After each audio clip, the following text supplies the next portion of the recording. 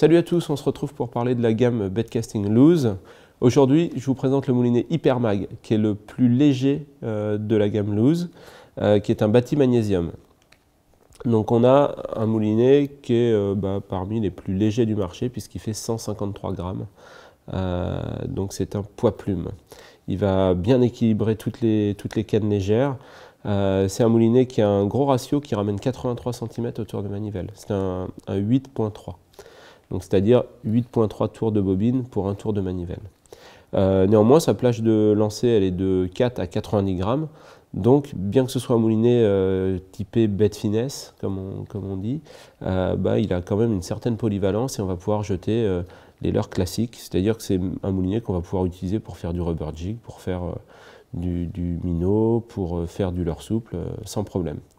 Il y a 11 roulements, grosse performance au lancer parce qu'on a le, système ACB euh, de freinage qui est le plus élaboré de, la gamme loose.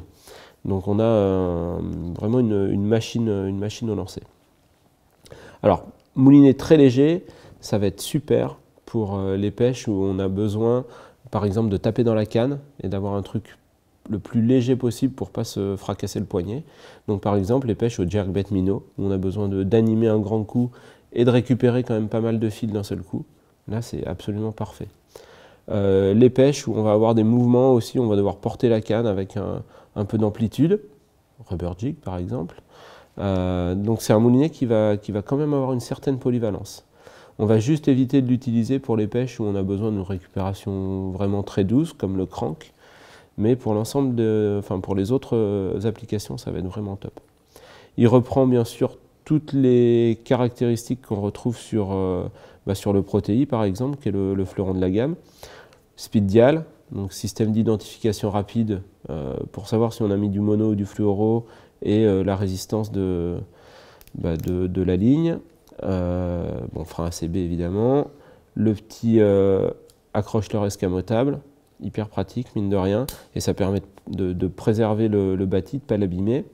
la manivelle carbone, toujours dans une optique de gain de poids, les grosses poignées loose avec une super préhension, bonne prise en main. Là encore, euh, gros frein aussi, hein, comme, euh, comme sur les autres modèles, euh, on a 9 kg sur un, sur un Mounier Finesse, c'est plus qu'il n'en faut. Mais du coup, on conserve une certaine progressivité puisqu'on n'est jamais en plage maximale d'utilisation. Donc ça, c'est vraiment très sympa aussi. Le profil super bas, génial, prise en main vraiment exceptionnel sur, euh, tout type de cannes, euh, et notamment sur des cannes hyper légères, puisqu'il est destiné quand même à ça. Moi, c'est un moulinet que je trouve euh, vraiment très très bon, bah, notamment pour la pêche en verticale, parce qu'on a une pêche où on a parfois le poignet un peu cassé, on, est toujours en recherche d'un bon équilibre et surtout d'un ensemble léger. Donc ça, va être une balle pour, la vertique.